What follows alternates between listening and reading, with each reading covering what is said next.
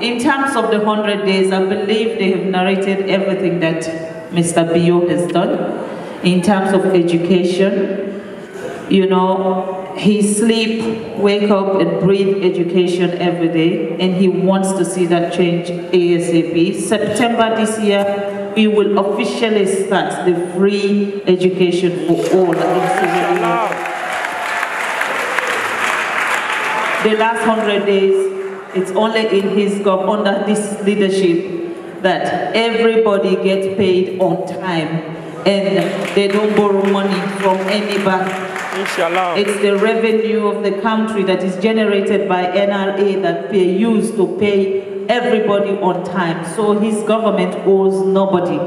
It's the last hundred days that Maada Bio has made, of course, no school child or university student will have to pay for forms for them to be able to enter to university.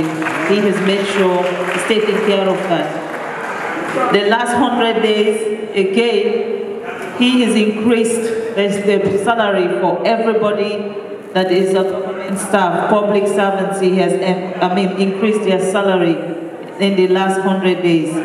It's the last hundred days Maada Bio has told all his ministers, you are not allowed, you are not allowed to travel with a delegation of more than five unless it is approved by the president.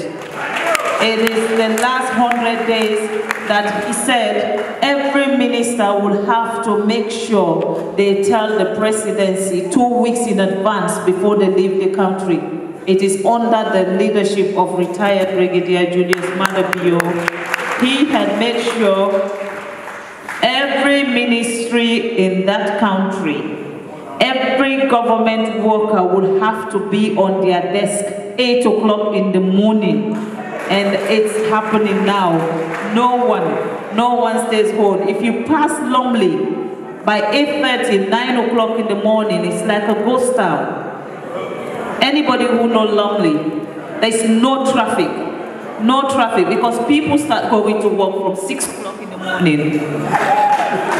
So it is under his leadership it is under his leadership he is able to achieve all of those things within 100 days. I don't want to go into the statistics of how much money they have raised, how much the money um, revenue they have put in place. I don't want to go into those statistics because me, I'm not a mathematician. True. But I can assure you one thing, and that is, before next election, Sierra Leone will not be the same. And the Sierra Leone, the Sierra Leone we will have is not the Sierra Leone that SLPP will have to go and bribe people to vote for them.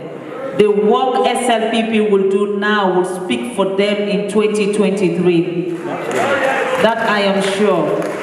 And me, I've said it. I, the last election, I was on trucks. I did all the crazy things. And one of the reasons why I decided to do those things, people said, oh, this woman lack power. No, it's not power. It's called independence.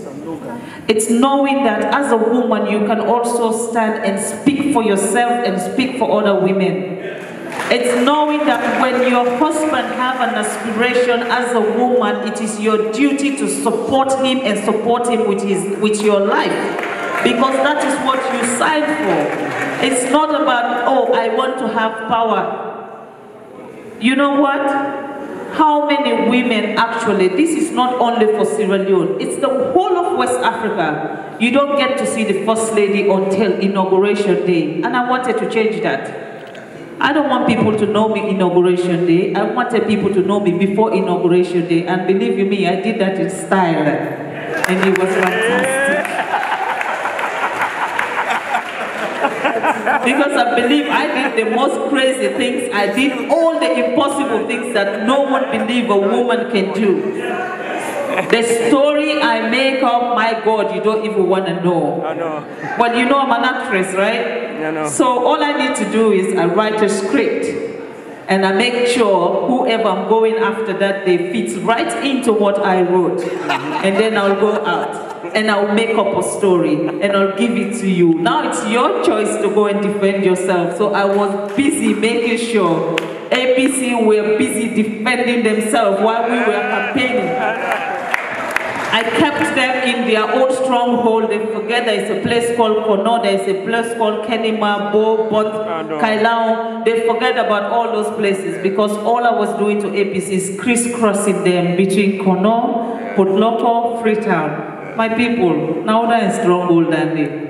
APC. So I keep them at their house. I make them busy in their house. They forget say we self get hosted. By the time that they realize we don't beat them. That is politics. But politics now is done. Finished. Now, APC, SLPP, NGC, C4C, we are all one family. Yes. We are all together. It's true.